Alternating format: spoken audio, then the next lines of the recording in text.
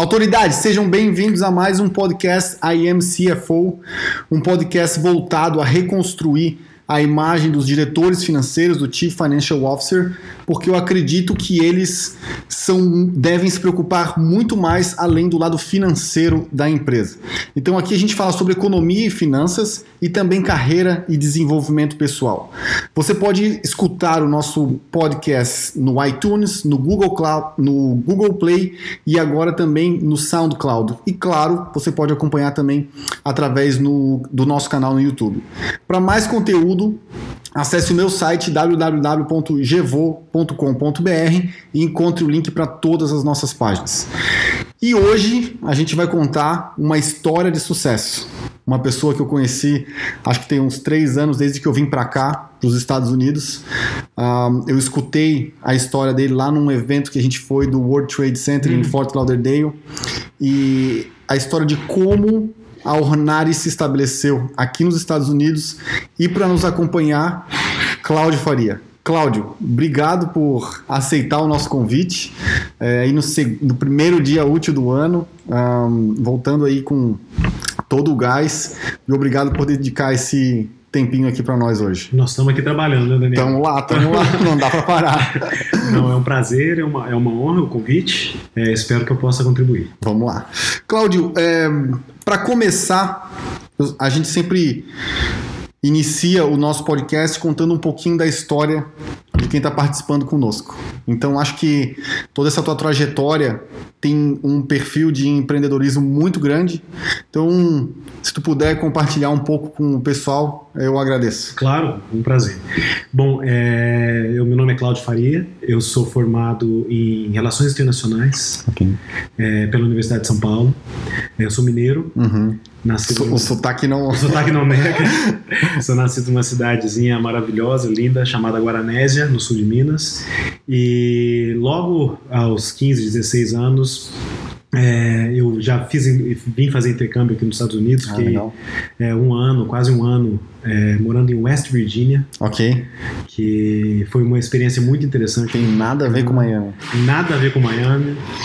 E só que foi uma experiência de grande crescimento, né? Uhum. Eu tinha na época 16 anos e, e, foi o primeiro contato, de fato, que eu tive é, prolongado, né, com, com, outra cultura e tive que me virar ali para aprender, passar na passar na, nos testes, nas provas, conviver numa família americana. Tu veio fazer o programa de high school? De high school. Ah, eu legal. Fiz o senior year. Legal. Aqui, legal. Lá, em West Virginia. Legal. Então foi uma experiência que foi muito bacana, né? Foi super difícil, eu lembro, foi bem desafiador. Só que contribuiu enormemente, eu acho que não só para fluência no inglês, mas enfim, para experiência de vida mesmo. Sim, sim. Então, logo eu, eu fiz esse, esse intercâmbio, depois eu voltei, fiz um pouco de cursinho e tive a felicidade de entrar é, na faculdade. E aqui lá, lá, lá, sim, porque daí eu voltei. Aí tu voltou. É, tá. eu voltei. Eu terminei o senior year é, de high school aqui uhum. e aí eu voltei pro Brasil. Como é que foi essa? Que, época que foi isso? Isso foi em 99, 2000. 99 tu estava aqui. 99 eu estava aqui, eu voltei em junho de 2000. 2000. E é. como é que foi essa, essa volta? A volta, nossa, eu não vi a hora de voltar. Ah, é? Eu tava falando, nossa, tem gente que fala, ah, meu intercâmbio foi maravilhoso, não queria voltar de novo. Eu era o contrário. Mas por quê? Porque, porra, deixei meus amigos todos, né, minha família, a gente é super apegado, meu irmão, minha mãe, meu pai, pô, e, nossa, há 16 anos eu tava amando a minha vida. Sim, né? sim. Tendo uma vida muito bacana. E o West Virginia deve ser um nada, né? Um... É, é um, é um lugar... Tem muita coisa para fazer. Não tem muita coisa para fazer. É, é, é, um, é um, uma cidadezinha muito pequenininha. Sim.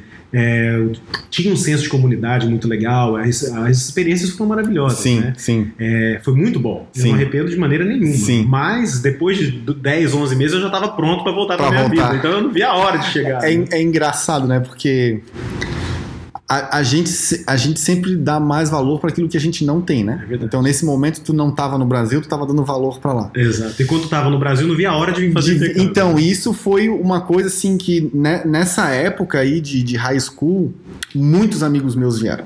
E eu não, não, não tinha condições de vir e ficar assim, pô, eu queria tanto ir, queria tanto ir.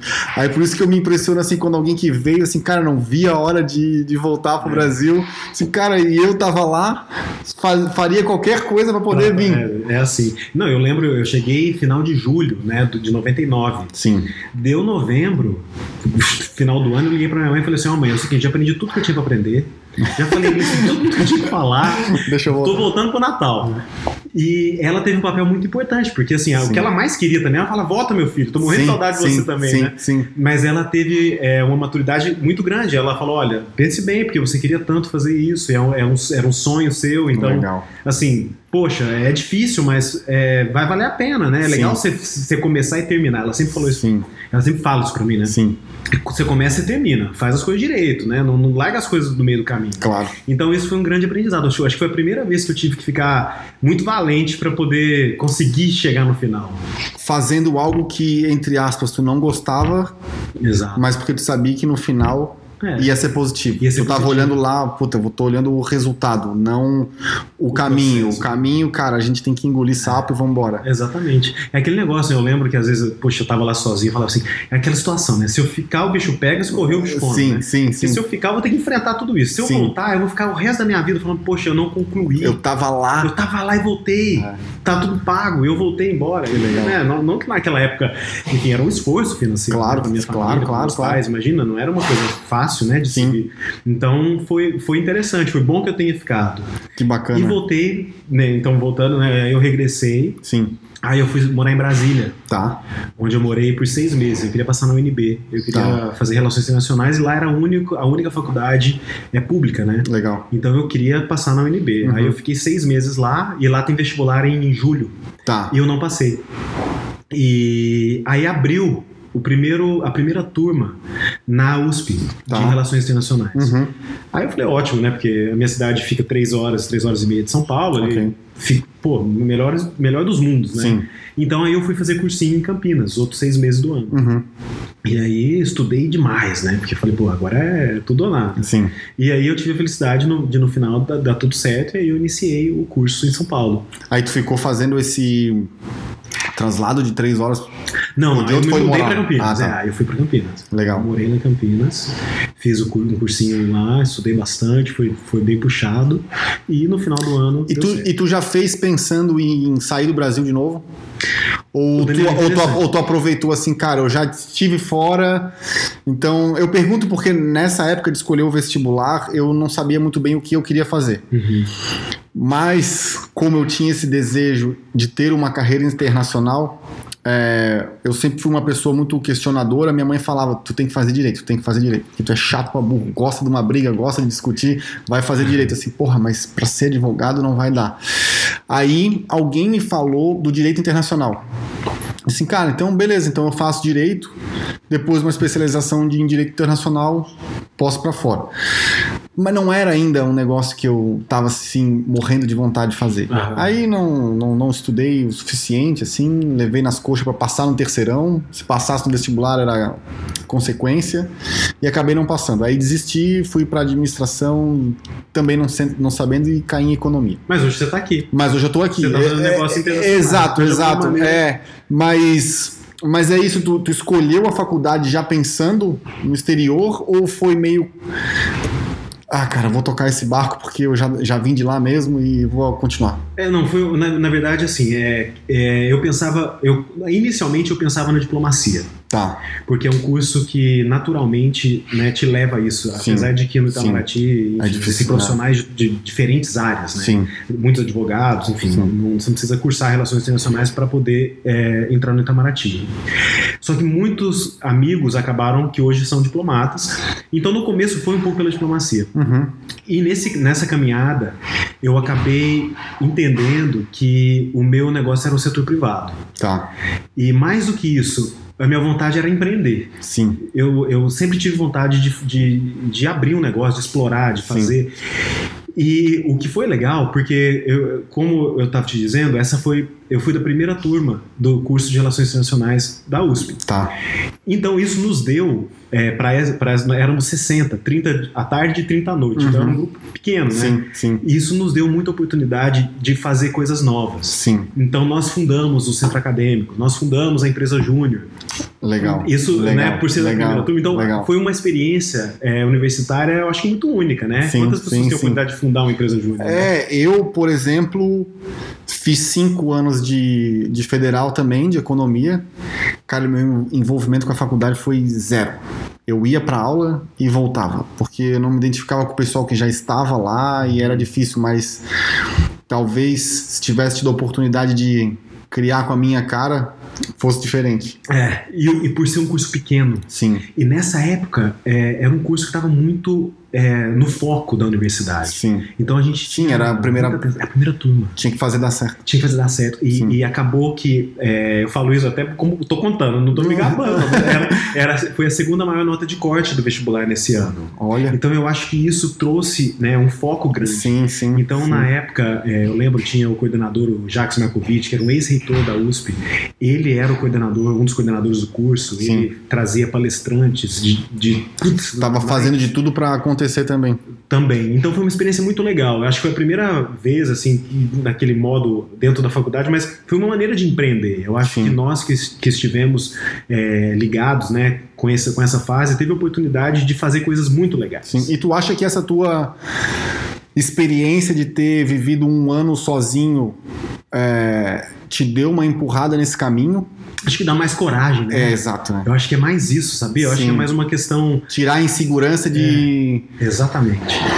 Muita gente questiona a sua própria capacidade, né? Então, acho que quando tu vive, sei lá, eu, eu não vivi, eu tô supondo, né? Quando tu vive uma experiência dessa de porra com 16 anos, morar numa, um, num, num, país que tu não conhece, não sei se tu veio pra cá naquela época falando inglês já ou aprendeu é, aqui. Pouco, falava pouco. Numa família que tu não sabe o que, que vai acontecer. É. E consegue sobreviver um ano. É. A hora que tu volta, tu acha que tu é invencível. É, né? é, é um pouco essa sensação. Você volta muito autoconfiante. Legal, legal. Então eu legal, voltei legal. com essa autoconfiança. Eu acho que sim. E na faculdade é, foi, foi um processo muito bacana né, essa época. E aí que eu comecei a entender um pouco do lado privado. Então eu, eu vi que eu queria mais trabalhar com empresas. Sim. E até nessa parte da empresa júnior, a gente começou é, ali de maneira muito discreta, incipiente ainda, mas prestar algum tipo de serviço para algumas empresas, para o governo sim, do Estado de São Paulo sim. na época. A gente ajudou é, a, a, numa missão que eles tinham para a Argentina, nós nos, nos, reunimos, fizemos um estudo para eles, Uhum. para essa missão comercial. Uhum. Nem sei se eles usavam afinal, mas, Sim, sim, sim. mas, foi, mas foi um exercício interessante, um Legal. exercício bacana. E foi aí que eu comecei a, a me interessar em é, explorar a marca brasileira no exterior. Legal. É, nessa época eu, eu, eu, ficava muito conformado com o fato de que é, o Brasil tinha na, é, basicamente seus produtos comprados pelo exterior e não de fato vendidos. Vendido, é, é. Então você vê, você trabalha no mercado de commodity, que é na balança comercial brasileira, né, commodity representa né, majoritariamente o, o, que é exportado. Sim. E, e, e o preço, a, a, qualidade, tudo é determinado de fora para de dentro. De fora para né? dentro. É, e existem grandes possibilidades de você agregar valor. Sim. Né? Então a gente se olha aí países como Itália, por exemplo, né? os caras agregam valor para tudo, né? É, e é engraçado porque eu acho que é. Não sei se é da, da, cultura latina, não deve ser da cultura latina, porque o argentino não é assim, né? Ele. Ele sabe o valor dele até mais, né? Mas eu acho que nós, a gente tem uma, uma, uma, uma síndrome de vira-lata muito grande, né? É, a gente não dá valor para as nossas coisas e o mercado externo em geral dá muito, né? Inclusive as fábricas que exportam o melhor produto elas mandam para fora. É verdade. Tem é, tipo exportação. Porra, o tipo exportação é melhor do que o que vende lá É. dentro. Então assim, pô, por que, que a fábrica aqui do Brasil Uhum. tá vendo, tá botando o melhor lá e deixando o refúgio para nós aqui dentro, né? Interessante mesmo. E eu acho que o empresariado brasileiro, porque o Brasil é um, tem um mercado consumidor grande, né? Sim, E é um, é um país que, de, de certa maneira, é um país que está isolado, sim, geograficamente dizendo, né? sim. É, se comparado, por exemplo, É, até, com a econo- Europa. né? até economicamente na América, na América do Sul ali, o Brasil, comparado com todos os outros, os outros são nada, né? É, a gente, apesar de ter uma, uma relação comercial forte com a Argentina, por exemplo, que é um grande parceiro comercial brasileiro, mas, a, a, mas o Brasil ele, ele, acaba sendo um pouco isolado, se comparado sim. com um país europeu, uma sim, França, uma Alemanha sim, da vida, né? Que é, não, todo mundo cresce falando dois idiomas, sim, né, pelo menos. É, né? é, é, então, o Brasil, eu acho que existe é, no empresariado brasileiro uma timidez e uma, e uma falta de necessidade. Sim. E eu acredito também que isso tem mudado nos últimos anos. A falta de necessidade, tu diz, por causa do tamanho do mercado por lá. Por causa do mercado, do tamanho do mercado lá. É, a base consumidora do Brasil é muito grande, né? Sim. Então, eu acho que, que, historicamente o empresariado brasileiro que vende produtos de marca, uhum. por exemplo, que trabalham é, com móveis de, de, de marca ou com, com, roupa, né, Sim. ou moda, é, a, a, princípio é, o mercado consumidor brasileiro já é suficiente para absorver aquela produção. Então, tá. assim, se você conseguiu é, fazer um trabalho legal no Brasil, se a sua marca é uma marca difundida e você cons consegue gerar uma receita legal, o Brasil te dá essa base consumidora, sim, né? Sim. Então eu acredito que isso é um dos fatores que, que, que gera essa, essa, essa falta é, essa falta de, é, de audácia talvez até de para fora, de para fora. Sim. E quando eu estava na empresa Júnior, sim, que a gente começou a, a, desenvolver esses projetos e logo lá mais para o final, eu comecei é, junto com, com algumas pessoas na época identificar marcas brasileiras que eu acreditava que de fato tinham esse potencial de ir para fora. De ir para fora. Entendi. De vender marca. Sim. Porque quando sim. você vende marca é diferente de você vender É produto, diferente, exato. Você tem até um podcast falando Sim, disso, tem, né? exatamente. Um de brand, marca, de como de construir brand. marca, exato. Então. Até, até eu tava escutando um outro vindo para cá do cara falando assim, quando tu quando tu constrói a marca, tu sai de uma venda de produto e passa por uma venda de emoção.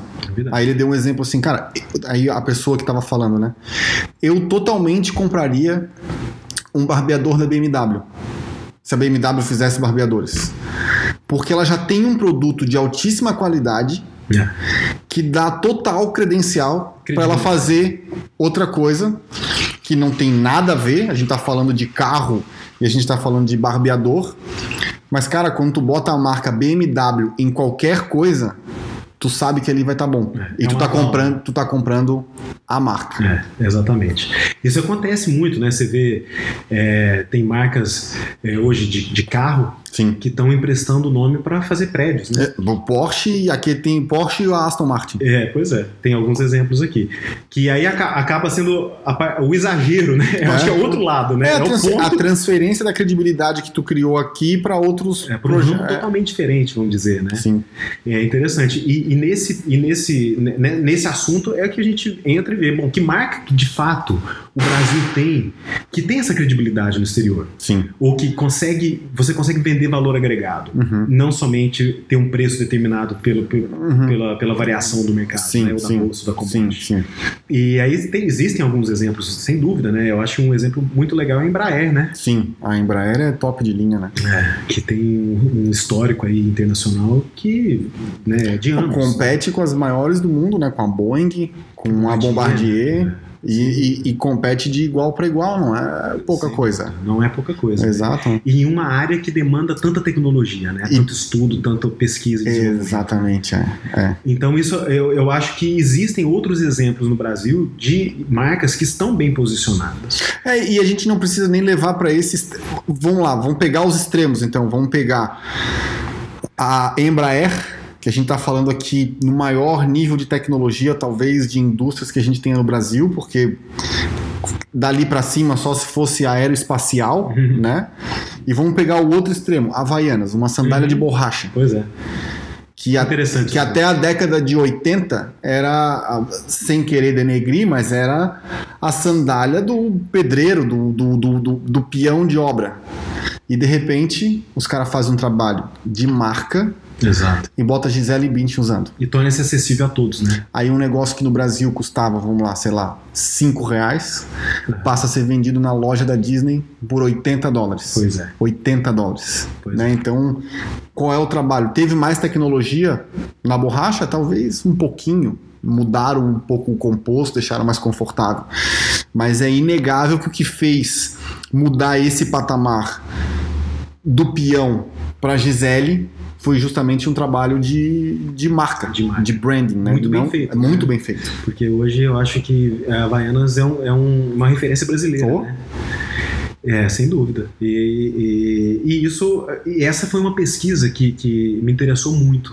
E tu, e, desculpa, tu fez isso pro governo ou tu começou a fazer dentro do centro acadêmico dentro da ali? empresa Júnior, dentro da empresa depois, já no fim, mais pro final, é, não, né? Junto, não, eu também junto ali, mas também é, individualmente e tal. Sim, E o que aconteceu é, foi que eu consegui identificar algumas marcas muito, muito interessantes. sim, Só que aí é aquela combinação perfeita, né? Porque às vezes você tem uma marca super bacana, você fala, "Putz, essa marca é legal demais. Vamos, vamos-" Aí você vai olhar para a empresa, é uma empresa que talvez é desestruturada, Sim. ou é uma empresa que não, talvez até é estruturada, mas não tem aquela ambição. sim, sim. Existe, Ah, tá bom assim. Tá bom assim, já tem mercado, Aham. por que eu vou mexer lá fora, Sim. né? E, então você encontra, nessa pesquisa a gente encontrou muitas marcas que de diferentes, com diferentes perfis, né, vamos dizer. E diferentes setores. Tu lembra dos setores assim, sem nomear as marcas, mas os setores que vocês Era encontraram? basicamente moda e design, Moda e design. moda, moda e né? Sim, Que eram as duas principais frentes, assim. sim. E aí, Daniel, foram uns dois anos, cara, um ano e meio de visita, de apresentação, Tu foi atrás deles. de porta na cara, de tudo quanto é, é- E muito bem recebido muitas vezes também. Sim. Mas aí, assim, você ia apresentando, todo mundo achava o máximo. Pô, Mas aí tu fazia o quê? Tu ia lá, ligava pros caras, deixa eu não quero eles botar a tua empresa no exterior? é, mas basicamente isso. Ligava, falava: olha, eu tenho uma Legal. pesquisa. Obviamente, a gente tinha, um- tinha um estudo Sim. legal antes, Sim. nós fizemos Sim. de fato um estudo bem legal para cada. A gente não ia sem, sem pesquisar. Claro. né? Então, como nós focamos nesses dois segmentos, nós conseguimos levantar muitos dados interessantes, muitas oportunidades. Antes de chegar nesses dois anos de porta na cara, teve mais quantos antes de estudo? Quatro? É, junto, junto aí Foi, com. é- Era, era meio hand in hand, né? Seria Sim. meio que junto, mas sem Sim. dúvida foi. é, A, a gente fez de fato, a gente aprofundou nesses dois, Sim. Nesses dois mercados, nesses dois segmentos, né? E, e foi uma foi uma experiência muito interessante porque assim você, você apresentava para um o cara ele interessava mas aí na hora que era para falar mas e aí quanto eu tenho que pagar para isso bom é mais Sim. ou menos aí você fala putz não deu certo Sim. Vou pro segundo. Aí você ia, ia, ia. Até que dentro, dentro de tudo isso é, apareceu a Ornari. Sim. E Comprou a ideia. A Ornari, a, a gente olhou pra Ornari e falou: putz, essa empresa é perfeita. Tem uma marca que é reconhecida no segmento como não existe outra. Uhum. É uma empresa que na época tinha é, quase 20 anos né, de mercado. Então, poxa, é uma, é uma empresa que, que tá Já tenho que mostrar. tem que mostrar. É uma marca que foi pioneira no Brasil em sistemas, né, em cozinhas, armários, em trazer um designer foi o Marcelo Rosenbaum Sim. em 1996. Sim. É, eu acredito, de acordo com o meu conhecimento, foi a primeira vez que um designer foi foi Fizeram, convidado fizeram um co-branding da Ornari com alguém. Ele veio e ele entrou na linha de produção, ele desenhou o- um, produto, né? Ele Sim. desenhou uma linha para a Ornari. Sim. Naquela época, né, que você vê a- o, que o Brasil se abriu para o mercado internacional na época Collor. Foi em quando? 92. 92, foi em 96. Então, quer Uhum. dizer, você vê, Foi logo no começo. Foi porque, cara, começo. Quatro, quatro anos em histórico econômico é nada. é né? nada. Então, assim, foi, uma, é, foi a primeira empresa a- a- que, eu, que eu conheço que teve essa visão lá atrás de trazer Sim. o componente de design, né? Para poder desenhar os produtos, para poder ter um produto original. Tu, tu acha que essa importação do designer é, foi um fator que facilitou a tua conversa com ele de falar de exterior? É, o, o Marcelo Rosenbaum, é, ele desenhou para a Ornari nessa época. Ele já era um designer que estava no Brasil é, conhecido. Ele já Uhum. era, ele já estava começando. Hoje, puto, o cara é incrível, Sim. né? O cara, Sim. mas nessa época ele já, ele já tinha o seu conhecimento. E ele ganhou com esse, com a mão francesa que ele desenhou para a Ornari nessa época, Uhum. que é a mão francesa da linha Light, que está na coleção até hoje, Sim. inclusive. Sim. Ele, ele ganhou o primeiro lugar no prê, do, o primeiro prêmio do Museu da Casa Brasileira. Pô, que legal. E o segundo lugar nessa época foi um desenho dos irmãos Campana. Sim. Você ver, ele, ele, ele, ficou, em- ele ficou em primeiro lugar.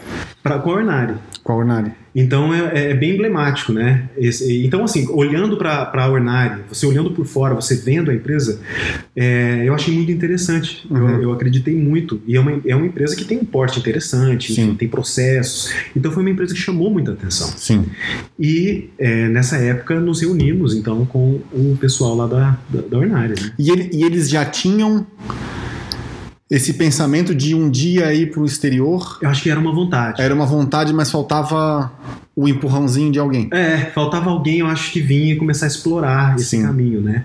E quando a gente desenvolveu essa pesquisa, viemos para cá, fizemos pesquisa de preço, fizemos é, o business plan, né? Sim. Consolidamos o business plan, ficou claro para eles que existia, que existia uma oportunidade. Sim.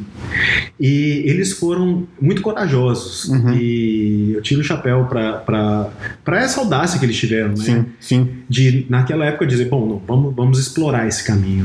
E aí, então, que começamos a conversar e as conversas é, foram é, positivas eles entenderam a oportunidade, nós entendemos o, o que eles queriam também, sim, né? Sim. E foi um esforço muito legal, foi um, um esforço muito produtivo, sim. que culminou na, na, abertura da primeira loja da Ornari é, nos Estados Unidos, né? Antes da gente pular para esse ponto, deixa eu voltar só um claro. pouquinho na tua história. Quando tu começou a falar que tinha dois anos de bater na porta e porta na cara, quais, quais foram as rejeições? Era a empresa não queria porque o investimento era alto. Eles viam assim, pô, quem que é esse moleque aqui que é. vai me dizer que quer ir pro exterior? Cara, nunca fez nada, pô. Exato. É, como é que foi essa. essa o que, tu escutou mais? Todo mundo recebia. Sim. Era difícil alguém que não queria receber. Sim. Só que quando. A, a primeira coisa é o que você falou, né? A credibilidade. Sim. Então, quantas que você já fez? Hoje tem pessoas que nós visitamos lá atrás que hoje vem, pô, que legal, mano. Então, é isso que eu digo. Por isso que é, é, o que eu digo até em relação ao Ornari, né? Sim. Você falar com, com os diretores lá, a família da Ornari, eles, eles, eles não tiveram essa, essa rejeição. Muito Sim. pelo contrário. Eu, eu acho que eles tiveram essa perspicácia de ver é, em mim, né, na época, apesar de, de ter é, uma idade pouca, né, eu tava com 23, 24 anos, não, 23 anos, mas a minha vontade era muito grande. Sim. Eu vi essa oportunidade, era, era um bebê, um bebezinho ali que foi, pô, eu tenho que fazer isso dar certo, é isso que eu quero, isso vai dar certo. Sim. Então foi, foram muitas portas na cara, muitas delas, com certeza, por ver, obviamente, uma pessoa. Por questionar a tua experiência. A minha experiência. E também eu acho que é, na hora de colocar a mão no bolso, né, e, fazer o investimento, sim. a pessoa pensa duas vezes naturalmente. Sim, né? sim. Então acho que a credibilidade nesse ponto. É, eu, eu, eu fui nesse ponto porque uh, no nosso lado aqui a gente sofreu muito esse questionamento quando a gente montou a nossa operação aqui também. Uhum. Eu estruturava investimentos lá no Brasil e eu tinha essa mesma vontade, assim, cara, eu preciso ir pro exterior, vou fazer lá o que eu sei fazer aqui. Montamos o business plan e agora vamos convencer as pessoas, né? Uh, nenhuma das pessoas com quem a gente conversou é, não entraram por, por não ter condições financeiras de entrar, porque a gente enfim, a gente fez o nosso trabalho de casa também, né? Pô, se é uma oportunidade para o cara investir tanto, eu tenho que falar com pessoas que, claro. que, que aparentam, pelo menos, ter o tanto para investir, né? né? É. E em alguns casos foi dito na cara mesmo. Tá, o que, que tu já fez lá? Uhum. Não fiz nada. Nunca fiz nada. Que que eu passei uma semana lá estudando o mercado. Foi o que a gente fez aqui. Então muita, muita rejeição veio nesse sentido de, de questionar a, a, enfim, a experiência internacional, porque a parte de investimento já tinha, mas a internacional não tinha. E, enfim, agora, quatro anos depois, estamos aqui entregando o primeiro prédio, né? E graças a Deus, os investidores estão estão bem satisfeitos Parabéns. e a maioria deles vai, vai continuar em outros projetos, né? Mas enfim, foram os que apostaram na gente e a gente leva eles com muito carinho também, né? Exatamente, com certeza, porque que eu tenho certeza que é o pessoal da Ornari também tem por ti, né? Assim, cara, o, a, a Ornari tinha toda a sua história, tinha todo o seu nome, que não dá para negar. Claro. Mas quem faz o nome são as pessoas, né? É verdade. E aqui quem fez a Ornari certamente foi o, o teu trabalho de desenvolver o mercado, né? É, nós, nós conseguimos criar uma, uma relação muito produtiva. Legal. O, o trabalho é, junto com o pessoal do Enari sempre foi muito bom. Uhum. Sempre foi um, um trabalho é, muito otimista, sempre, sempre foi um trabalho é, de, de, de acreditar. Sim, Nós sempre acreditamos uns nos outros. entendi. E foi um trabalho, e foi um- uma fase em que eles me deram muita liberdade. Uhum. Então, apesar de eu ter uma idade. É, eu, te, eu, eu, eu não tenho mais, né? Eu ter tido uma idade. Apesar de. é, isso, de maneira nenhuma, em nenhum momento, Foi um problema. foi um problema. E eu sou grato a isso também, Sim. né? Porque a gente precisa de alguém que acredite em você, Sim. né? Eles diziam sempre sim ou tiveram nãos no caminho também? Ah, sempre tem os nãos, né? Sempre, ah, ah, se argumenta e você constrói, por isso que eu digo, é uma você constrói, né? É uma Sim. coisa que você constrói junto, né? O trabalho, a Ornari em Miami, ela é, é bem sucedida hoje, graças a Deus, depois de, no- de 11 anos, e foi um trabalho que não foram só de duas mãos, não. Sim. foi, foi um trabalho que contou com muitas mãos, muitas mentes, é, muitos esforços, é, e lógico como tudo, nada é fácil, né, Daniel? Sim, sim. Então a gente... Começou aqui em. Miami. Começou sempre, em Miami. sempre foi aqui em Miami. É. Tem outras, outras nos Estados Unidos hoje? Sim. Outras. Onde é que vocês estão aqui hoje? Nós abrimos em Dallas Ok, há cinco anos atrás. legal. É, lá está sob direção é, do Olavo Faria, que é meu irmão. Ah, legal. Ele e a Fernanda, que é sua esposa. Eles estão lá há cinco anos. é, abriram uma loja no meio do Texas. Ah, que legal. E, e, e tem- eles têm ido muito bem. Que é, bom. É um trabalho. Trabalham muito, né? Como Obviamente. aqui, aqui em, todo lugar, né? mas eles conseguiram lá é, encontrar um nicho de mercado e estão conseguindo explorar o nicho de mercado. E em Nova York, que está sob direção do Peter Chatan, É. Uhum, que é da família da Ornari, da Uhum. família Chatan, uhum. é, desde maio. É, no Do ano passado. É 2017 agora. 2017, exatamente. A Legal. maio de 2017 abriu junto com é, o ICFF, que é essa feira de móveis que tem, que tem lá, o Sim. lançamento da loja. A loja tá linda. Eles foram os primeiros a trazer a coleção White Line, que depois nós trouxemos aqui para Miami também. Legal. E tem sido muito bem recebido o produto, a coleção lá em, lá em Nova York. Então, para a marca é muito legal, né, Sim, Daniel? sim, sim. Ah, Nova Sai, York é a né? maior vitrine do mundo, É né? a maior vitrine do mundo. Não tem como. E, então tem sido bom. Agora é, já tem planos agora de expansão. É, Los Angeles Uhum. abre esse ano, é, Houston abre esse ano e outras prospecções que, que também. Então a gente está ganhando, ganhando massa, Sim. né? Um ponto que tu botou ali. é, Nem tudo foi fácil, né? Teve bastante. Aliás, nada é fácil, né? Não, não tenho, né? Ah, Abri uma loja lá, beleza, bombou. Quais foram as tuas maiores dificuldades nesse, nesse caminho de chegar até eles? Bom, aí a gente já, já viu, né? Dois anos batendo em porta e tudo isso. E depois que veio, aonde que tu esbarrou mais em coisas assim que tu não imaginou que fossem tão difíceis quanto aquilo planejado, coisas que vocês nem sabiam que podiam acontecer e aconteceram, problemas que tiveram que resolver. Como é que foi lidar com esses problemas assim numa economia totalmente diferente? É. Quando nós abrimos em janeiro de 2007, foi justamente antes da crise imobiliária, né? Então foi uma experiência de muito aprendizado, porque Imagino. Nós chegamos aqui e o mundo acabou, e o mundo caiu. o mundo acabou. Caiu na cabeça de todo mundo. né? Sim. Então a gente falou, puxa, bem agora, né? Chegamos no final da festa. Chegamos no final da festa. E, e- e o mercado imobiliário em Miami vinha bombando Sim, há anos, né? sim. 2004, 2005, 2006 foram anos muito bons aqui. Sim, tu quase saiu daqui no início da festa, em 2000, e chegou no final. Olha só. Ainda bem que agora eu esperei, né? Fiquei mais um pouco.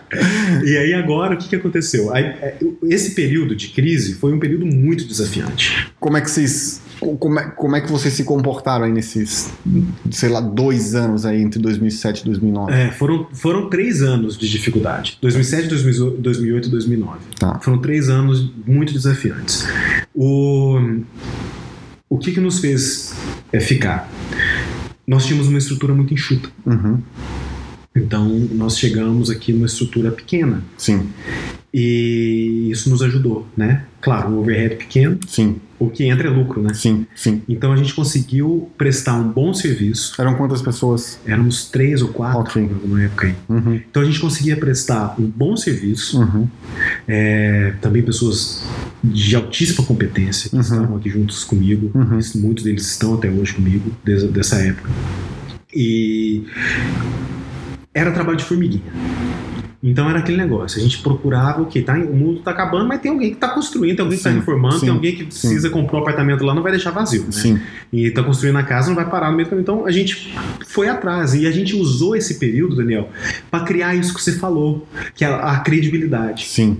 Nós pegamos esse período de crise e nós ficamos consistentes ali. E nós aproveitamos para construir relacionamentos. Legal. Foi aí que a gente conheceu Legal. Todo mundo aqui em Miami. Sim, Então a gente conheceu quem eram os developers, sim. que nessa época estavam muito mais acessíveis. Concorda? É, Imagina, né? Então- Lá no Brasil a gente acabou de passar por isso, a, a crise entrou, a- o dono do terreno antes escolhia para quem queria vender. A hora que entrou a crise, ele saiu desesperado atrás de quem podia comprar. Então era mais ou menos É isso. mais que- ou menos é. isso, exatamente. Então a gente tinha mais acesso às pessoas. Sim, Os designers, que na época, né, a gente, poxa, quantas pessoas a gente olhava e falava, "Putz, eu queria muito trabalhar com essa pessoa, queria Uhum. ela- especificasse o produto ornário. sim, E a gente, nessa época, as pessoas tinham menos negócio, então elas estavam mais abertas a conhecer sim, o que estava né, o que estava chegando. claro. E a gente teve também a felicidade de abrir a loja no Design District, Uhum, que na época não era o que é hoje, Sim. obviamente, sim, mas era um lugar legal. sim, Era um lugar que estava começando a acontecer, era um, era um local que, tra- que trazia um pouco a curiosidade das pessoas. E a Uhum. loja era linda. Sim. Era uma loja. Ainda é, né? Totalmente- Ainda é, né? Era, Tá nesse, me- era ainda, mes- né? nesse mesmo ponto aqui? Não, na verdade Era era, era aqui do lado. Sim. Na rua paralela a essa no 41. Nós estamos Tá. na 41, era na 40. Tá. E nós ficamos lá até 2012, quando Uhum. a Prada veio e assumiu aquele espaço. Então nós Tá. deixamos o espaço para a Prada entrar. Você tanto que mudou, né? Fizemos ponto Vocês fizeram o ponto pra nem- Prada. E nem pagaram, até hoje não pagaram. Brincadeira, não existe isso. Não, não tem.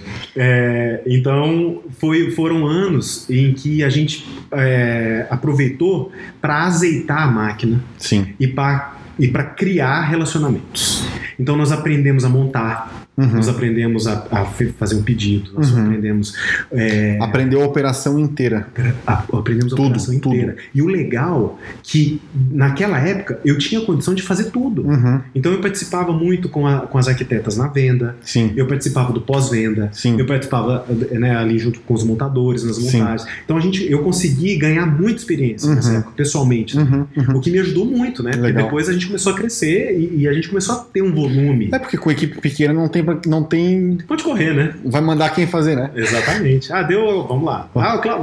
Então, assim, é, você palpa toda a obra. Aí Sim. você aprende também, num contexto desse, a fazer de tudo. Sim. Então você aprende a fazer marketing, você aprende a fazer visita, você Uhum. aprende a, a- a gerenciar pessoas. Sim. Eu nunca tinha gerenciado ninguém. Sim. Então eu aprendi a gerenciar pessoas, eu aprendi a gerenciar expectativas, a gerenciar o cliente. Então assim, foi, foram três anos de universidade, vamos dizer. Tua Foi pós-graduação. pós-graduação. Eu, eu, eu, eu, eu falei isso porque. Mas, eh, desculpa, eh, desculpa te interromper, mas é importante dizer, foi uma pós-graduação, mas nós nunca tivemos prejuízo. Ótimo. Nós Legal. sempre pagamos a conta. Legal. Isso, Legal. isso é importante deixar. É, porque quem né? olha de fora assim, ah, também, mas o Ornari bancava É, tudo. bancava... é, Bolsa Fundo, nada disso. A gente, desde o momento em que eu assumi a gerência da loja, é, nós conseguimos, com a estrutura enxuta, com tudo isso, sempre nos bancar. Nós sempre nos bancamos aqui. Então, deixa eu fazer um comentário ao pessoal que está escutando aí. Se vocês estiverem ouvindo um barulho de material nos fundos, tá? É porque aqui ó, o trabalho não para, não. A gente está gravando, mas o pessoal está trabalhando ali, montando uma cozinha e tá vazando um pouquinho, mas não é problema. Eu falei esse negócio da pós-graduação porque eu trabalhava numa empresa de investimentos e eu saí para montar a minha empresa de bolsa de valores em maio de 2007 Olha, no topo da bolsa. Um mês depois ela começou a cair e em novembro quebrou. Então eu tive a mesma sensação, porra, cheguei no final da festa. E foi o momento assim que é, eu fiz faculdade de economia, fiz pós-graduação em, ges- em- pós-graduação em gestão de investimentos, mas eu nunca aprendi tanto quanto naqueles seis meses, de maio a um pouco mais de seis meses, oito meses de maio a janeiro de 2008, foram os piores anos da bolsa na história assim recente. Então a, a, a, volatilidade era muito alta, tudo que tu estudava não acontecia, tu tinha que aprender a se virar dia após dia, minuto após minuto. A, a bolsa parava de funcionar de tão grande que era a queda no dia, coisa que nunca ninguém tinha visto. Então realmente foi foi um período assim que a gente aprendeu também todos os, os lados do negócio, porque a gente também na época era uma, éramos em três pessoas e tinha que se virar em tudo, cara. Era abrir o escritório, limpar, é, fazer análise, atender cliente, fazer comercial. A gente fazia muito curso para ensinar os outros a investir, para se tornar cliente. Então. Mas o nível de conhecimento que você deve ter adquirido. É, não, não, não com certeza eu não aprendi a mesma coisa que eu aprendi ali na faculdade e na pós-graduação. Não tem, não tem. É um, é um, é um, conhecimento prático. Não, não existe livro que te ensine. Sim. Não existe livro que, que, de investimento que vai te ensinar a operar no mercado daquele, assim como não vai ter um livro de marketing de vendas, de produção industrial que seja, para te montar uma empresa na hora que o mercado imobiliário do mundo quebra e tu tá ali num segmento que alimenta esse, esse mercado, né? É. E são os acasos, ou os destinos, Sim. o destino, né? Sim que você a gente muitas vezes não escolhe, né? O que o que acontece, mas a gente escolhe o que fazer. O que né? fazer como, dali para frente, como se comportar com o problema, né? Se comportar. Ah, legal. E aí eu acho que foi foram anos que é, foram fundamentais para a gente poder se estabelecer.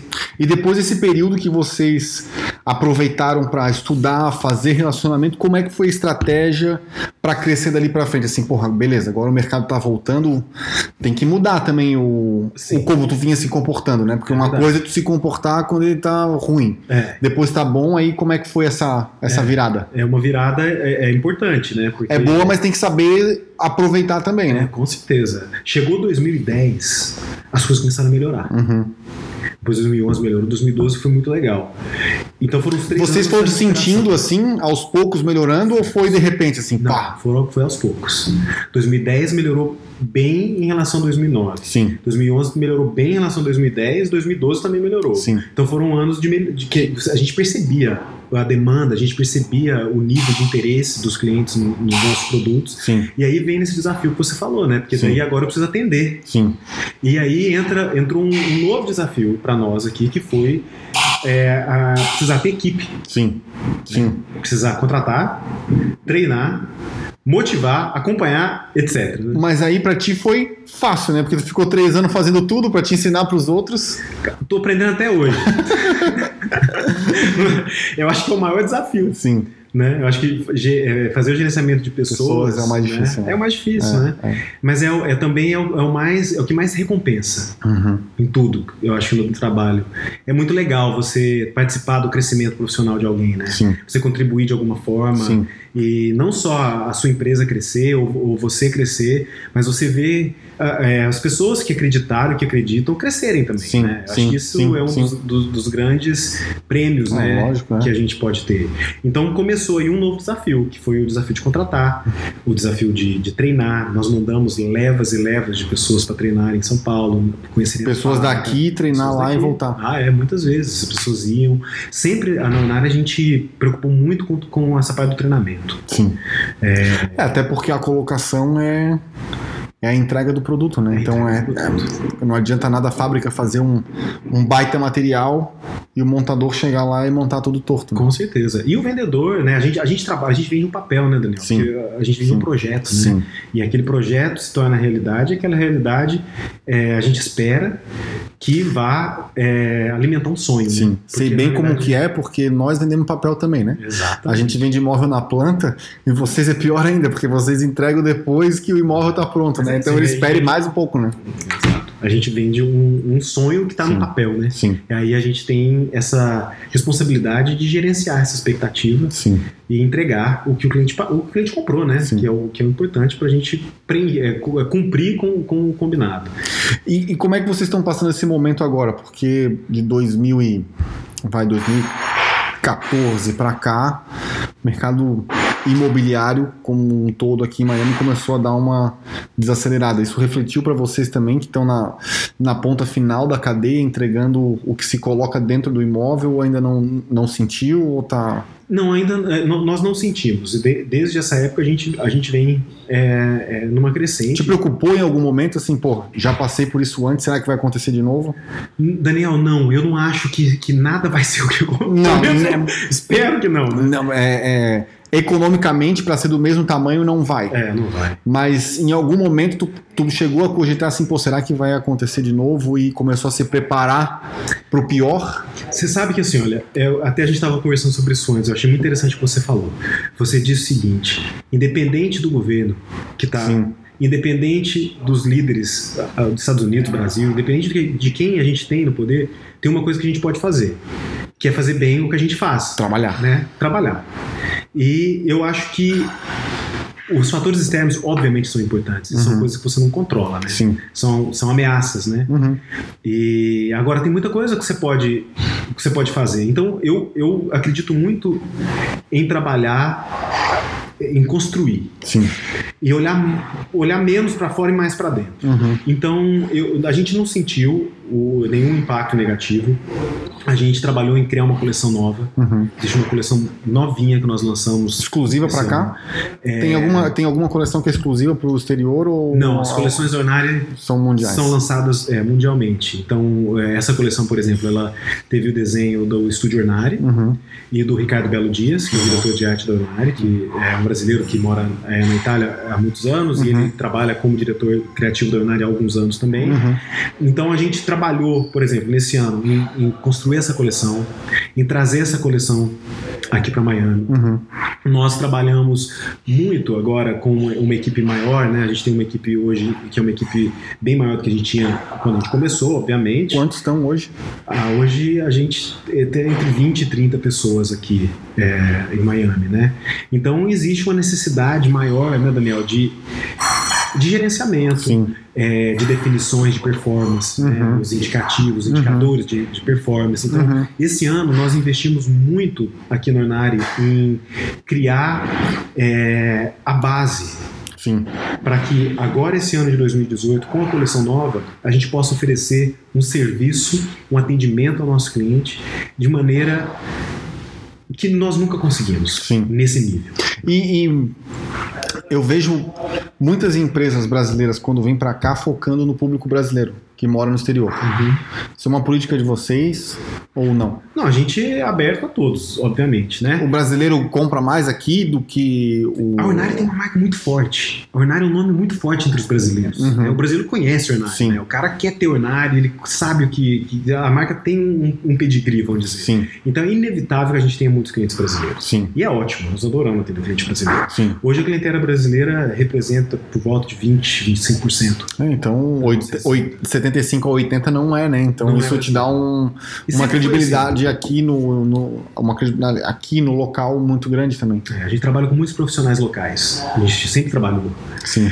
Mesmo porque é outra, outra, outra, acho que é uma outra consequência daquilo que você, que você falou antes, que é daquela crise, né? Uhum. Porque durante aqueles anos, você não via brasileiro uh, nessa quantidade igual hoje. Sim. Comprando, sim. investindo. Sim. Não tinha mesmo. Sim, que eles eram logo depois, né? Foi depois, foi 2010, né? 2010 veio uma, uma leva legal, 2011, mas nesse período não tinha. Então nós conseguimos, eu acho que isso é uma, uma conquista que nós conseguimos, é abrir apresentar a nossa marca para o mercado local, para os construtores locais, para os designers, arquitetos. Tudo. Então a gente conseguiu fazer isso durante aquele período. Talvez se tivéssemos, se pudéssemos contar com isso desde o começo, talvez Sim. não teríamos investido tanto em, em difundir esse mercado. Mas mesmo Sim. Dallas, você vê Dallas, o, até o Olavo, que, que é o, comentou comigo, que o mês agora de dezembro foi a primeira venda que ele fez para um brasileiro. Ah, é? Em Dallas. Legal. Legal. A primeira vez que um brasileiro comprou dele, depois de cinco anos. Depois de cinco anos. Pra você ver. Então, o produto, a coleção que a gente traz, é uma coleção que atende ao mercado internacional. Né? Hoje é um desenho que atende as madeiras, os materiais, a tecnologia envolvida nos nossos, uhum. nos nossos produtos, nos nossos sistemas, atende a um público que não é só o brasileiro. Né? Sim.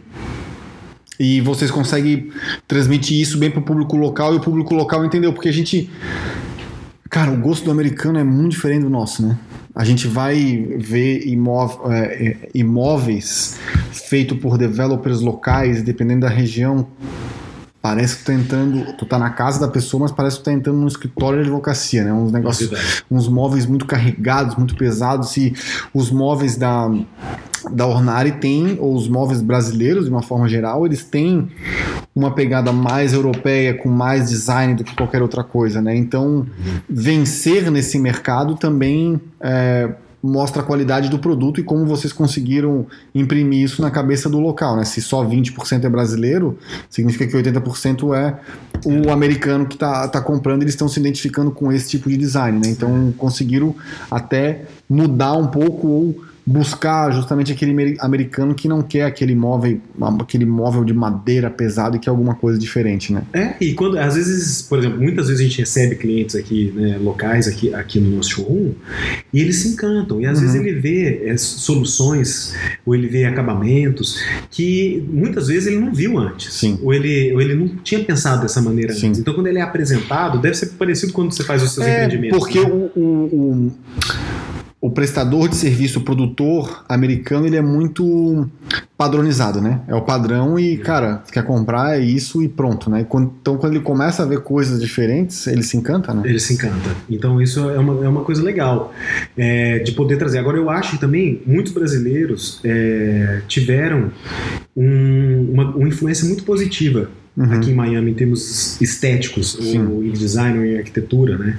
É, eu acredito que o, por Miami ser um, um mercado muito é, é uma metrópole, né? Sim. Que se oxigena sim, muito, sim, né? sim, tem gente tudo quanto é lugar tudo quanto é lugar. Isso é legal, porque você encontra aqui em Miami o que muitas vezes você não encontra no interior dos Estados Unidos, sim. né? Você encontra aqui, você encontra em Nova York, ou sim, Los Angeles, sim, sim, em sim, regiões sim. ou em cidades que possibilitam essa troca. Sim. Então Miami é uma cidade de troca. Sim. E, e vocês, é, com, os, com o empreendimento que vocês estão finalizando, eu acho que a gente também pode ter contribuído em apresentar um, um, algumas características. Claro. Ou, né, é, não, o, o, o, nome Brasil aqui ele é muito valorizado, né? É. Então ele, ele entende que o móvel brasileiro é bom, o construtor brasileiro hoje tem poucos aqui, né?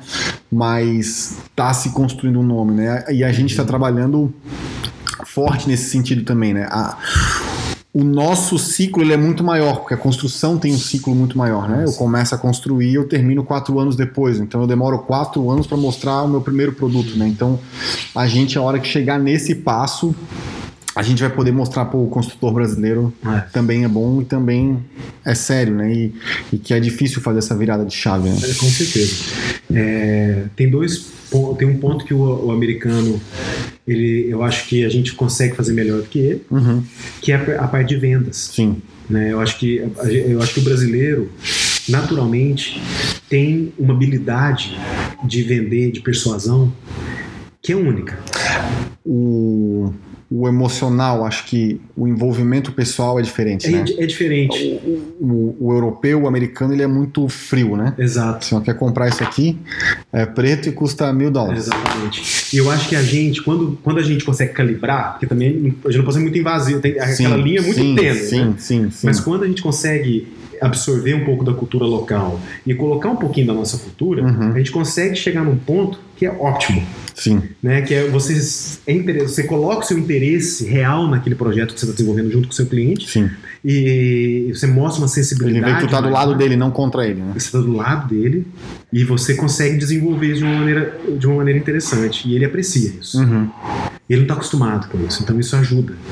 Agora, tem um, um, um, um o, pós-venda de empresas americanas, geralmente é muito bem feito.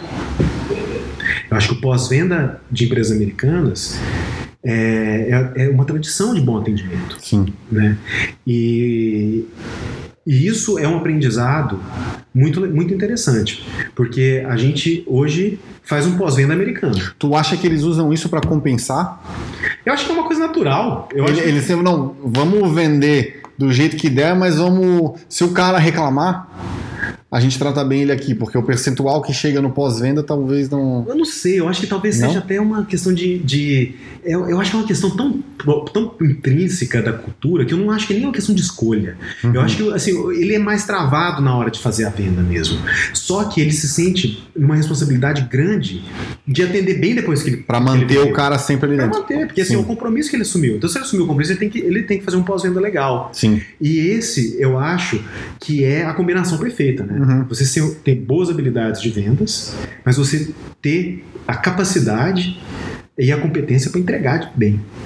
E eu acredito que a gente é, faz um investimento grande nessas duas áreas, Sim, tanto na parte de vender quanto na parte de entregar. sim. E quando a gente faz essa combinação bem feita, é campeã, né? Porque daí você consegue Fideliza, né? fidelizar demais. Isso, isso é, o, é o grande segredo de todo negócio no final. Aí né? o cara para de comprar cozinha e começa a comprar ornari, né? começa a comprar Com- o Nike. com- começa a comprar a marca, Exato. independentemente do que ela fala. Porque hoje também não tem só cozinha, tem, tem closet, tem quarto, tem tudo, né? Sim, agora com essa coleção nova, que é a Wide Line, que é Uhum. wide no sentido de ser abrangente, Uhum. a gente consegue atuar com os nossos sistemas, né? Que a nossa especialidade são sistemas, não fazemos móveis soltos, não fazemos sofá, nos especializamos em sistemas. Uhum. Sistemas são cozinhas, armários, banheiros, Uhum. portas Uhum. e painéis. Uhum. Então hoje a Ornari ela consegue atuar na casa inteira Sim, com os nossos, com os Sim. nossos sistemas. Então você Sim. consegue envelopar uma casa inteira de painéis, criar alinhamentos com a sala, com a cozinha, com o home office, com os corredores.